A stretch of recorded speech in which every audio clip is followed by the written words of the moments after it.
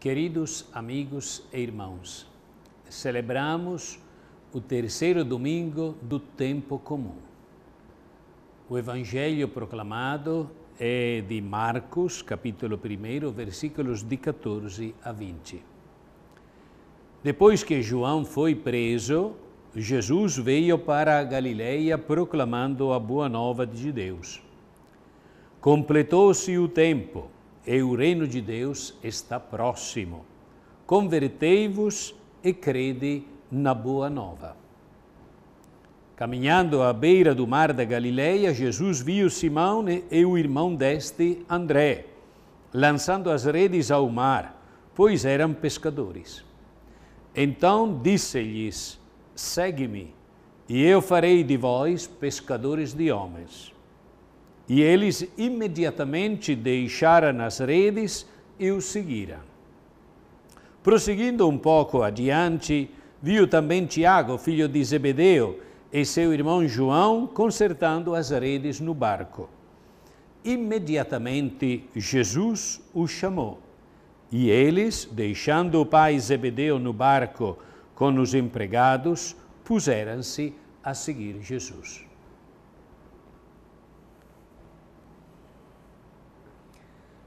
Em poucas linhas, uma sequência de muitas coisas.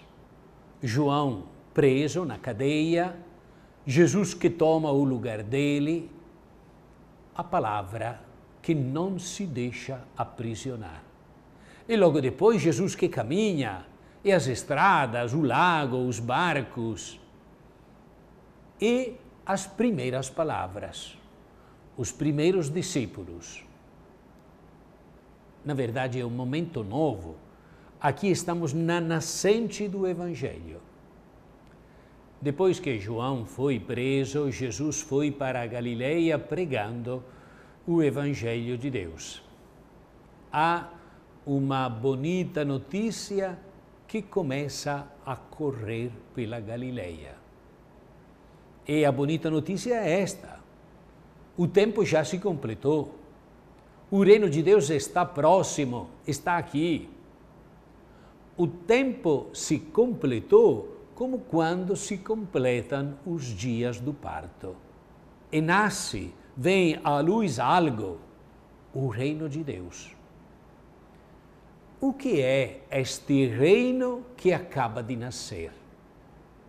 Jesus o mostrará com o seu agir. Logo depois, quando liberta, cura, perdoa, purifica, tira as barreiras, recria a plenitude de relações com todos, também com aqueles marcados pela exclusão. O reino de Deus é cura do mal de viver dos homens. É o florescer da vida em todas as suas formas.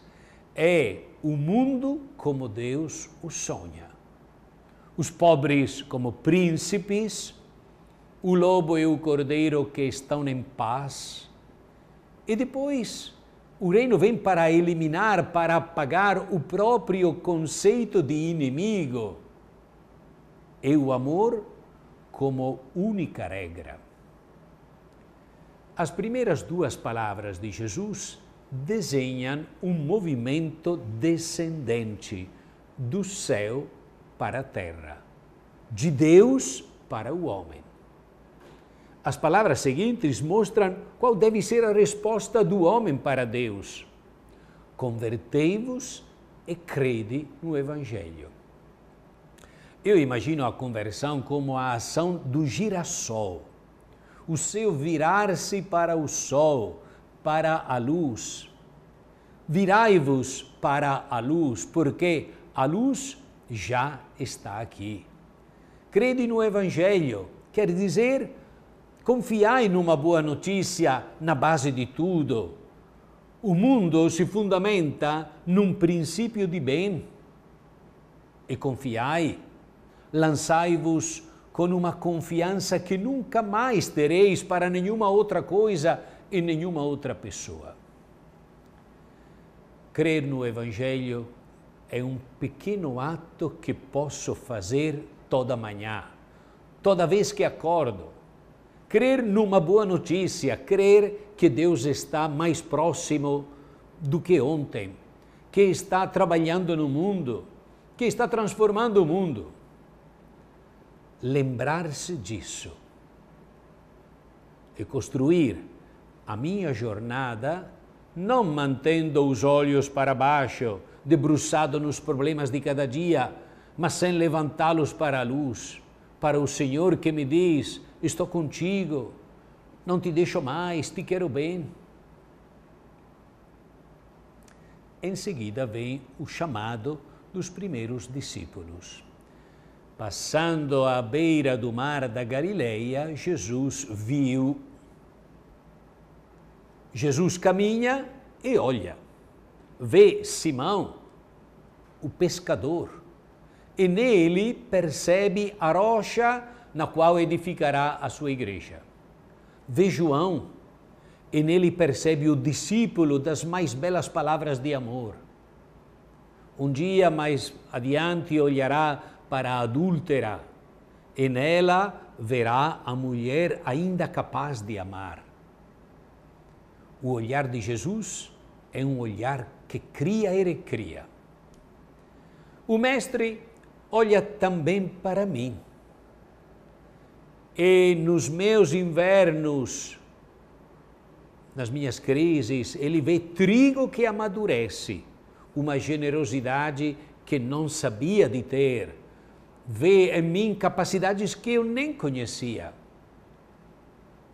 Logo, um Jesus que precisa de mim, que me chama a colaborar na gestação de um mundo novo, com os meus braços, a minha cabeça, o meu coração. Segue-me vinde atrás de mim. E Jesus não diz o porquê. Não tem motivações ou explicações, porque o motivo é Ele. Palavra de profeta, Deus próximo que te coloca o reino recém-nascido em tuas mãos. E é aquilo que diz com a frase seguinte, um pouco sem lógica, até inédita farei de vós pescadores de homens. Não há nada parecido com isso antes nas Sagradas Escrituras. Mas é como se Jesus dissesse: Vos tornareis caçadores de tesouros. Meu e vosso tesouro é o homem tirareis os homens para fora da escuridão, como quando puxais os peixes para fora da superfície das águas, como dos recém-nascidos das águas maternais, como o tesouro do campo. Os levareis da vida submergida para a vida no sol. Procurai-os naquele mundo deles onde pensam de viver e não vivem que consideram vital e, em vez, é um mundo sem oxigênio. Mostrai-lhes que o homem, mesmo com todo o seu peso, é feito para uma outra respiração, uma outra luz, um outro ar. Jesus mostra dois movimentos: ir atrás dele e ir em direção aos homens.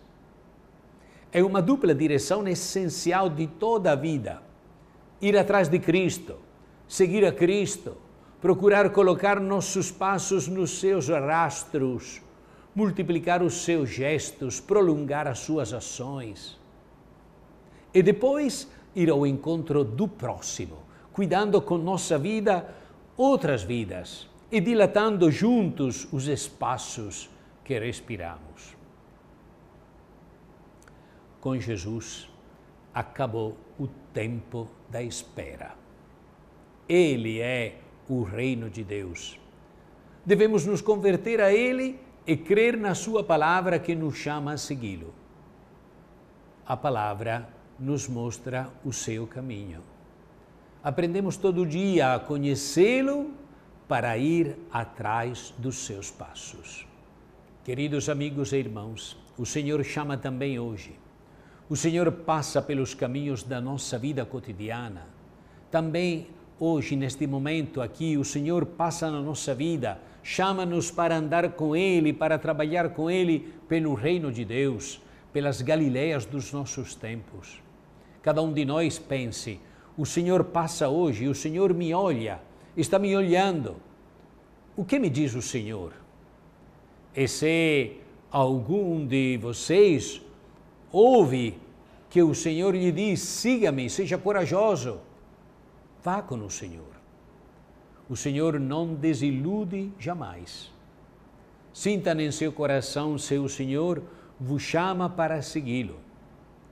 Deixemos-nos alcançar pelo seu olhar, pela sua voz e o sigamos, para que a alegria do Evangelho alcance até os confins da terra e nenhuma periferia do mundo, como diz o Papa, seja privada da sua luz. Jesus, tu queres fazer de mim um homem novo, com uma nova mentalidade, com novos valores, com uma postura vital inteiramente nova. Senhor, que eu acolha teu apelo à conversão e acredite na tua palavra para que em nasça um homem novo capaz de amar o próximo, mesmo o adversário ou o inimigo. O homem novo que não vive para o egoísmo, a riqueza e os bens materiais, mas sim para a partilha. O homem novo, que não viva para ter poder e dominar, mas sim para o serviço e a entrega da vida. O homem novo para o mundo novo que é o reino de Deus. Deus abençoe a todos em nome do Pai e do Filho e do Espírito Santo. Amém.